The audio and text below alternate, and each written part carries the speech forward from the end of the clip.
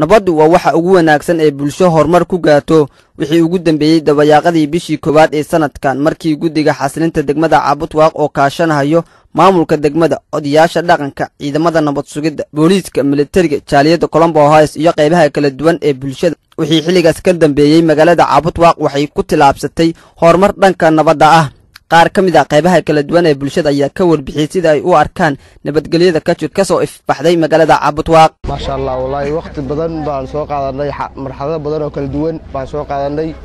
Hadda caabudwaaq saddex bilood ugu dambeysay waa nabad maanta maasha allah waaye. Wakhti kooban baan ka kabanna. Wallaahi hawsheedaniyo howl farxadla waaye waa ku faraxsanna haddaan nahay dhallinyarada caabudwaaq degmada caabudwaaq waana soo dhoweynaa waana la shaqaynana waana garab taaganna hadda magaalada horta waa runtahay magaalada ma dhaafi jiran aagan tallaashaan ku eka anigu haddana nabad iyo nolol waddadan meel walbaa uga baxaya hadda magaalada meeshaan doonaan tagaa xor anoo ah aan qori wadan waxba wadan nabad baanu ku tagaa. Degmada caabudwaaq wax fara badan ayaa u dhexeeya labadii biloodoo la soo dhaafay iyo farqiga maanta ay ku sugan tahay. Hadda waxaan ku sugannahay bartamaha magaalada caabudwaaq waad u jeeddaa dadkii si nabadgelya oo maaragtay farxad leh ayay u shaahaynayaan oo u fadhiyaan. Marka waxaan odhan karaa nabad la'aan iyo nabadgelyo ayaa maaragtay ay kala ahayd. Maantayta waxaan odhan karnaa amniga magaalada caabudwaaq inuu boqolkiiba boqol u yahay. Waxaana haddaas iskale dhallinyarada deegaanka iyo guddiga xasilinta ee degmada caawdaaq iyo ciidanka nisa oo maaragtay amniga magaalada maaragtay ka shaqeeyey iyo booliiska oo ayaguna run ahaantii aad uga shaqeeyey. Guddiga xasilinta degmada caawdaaq u jooga ka tagay madaxweynaha oo runtii isku dhabartubiyey hawl aad u adag. Waxaan leeyahay ayagana marnaba ha ka daalinina hana ka caajisnina waxaa rabtaan jeceshii waxaa weeye waa guul.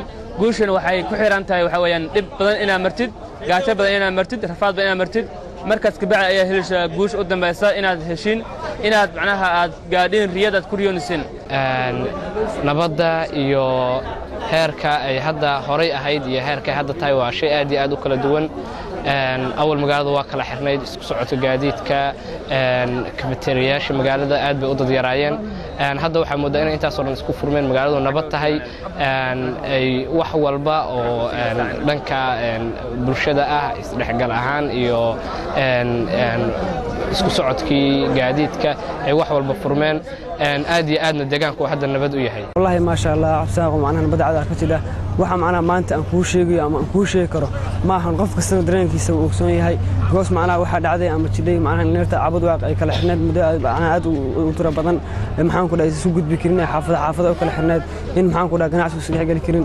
In maxaan ku dhahay sportska neerta isdhex geli karin. Laakiinse waqtigan la jooga hadda in neerta ay caadi isku dhex mariso sportska macnaha uu isku dhex jiro ganacsigu isku dhex jiro maxaan ku dhahay neerta ay aad iyo aad isku dhex mariso magaalada. Wallahi guddiga xasilan maanta maasha allah waa u mahad celinayaa arrin aad iyo aad u farxad badan bay ka wadaan maxaan ku dhahay ku shaqi jiraan. Waxaan leeyahay arrintaas macnaha ay ku jiraan qof kasta oo Soomaaliyeed meel ka soo joogo oo khaasatan dadka ka soo jeeda degmada Caabudwaaq inay guddiga gacan ay kala geystaan ay la shaqeeyaan ee gaadhay in maxay ahayd to aan u shaqaysan weyna ilmihii. Marka marar waxaa dhici jirtay xataa aanan furi jirin nabadgelyo la'aanta awgeed. Aanan ilmahayga ku aamini jirin. Ama adoo ka soo maqan ee xabadu dhacdaabaa isdhihi jiray.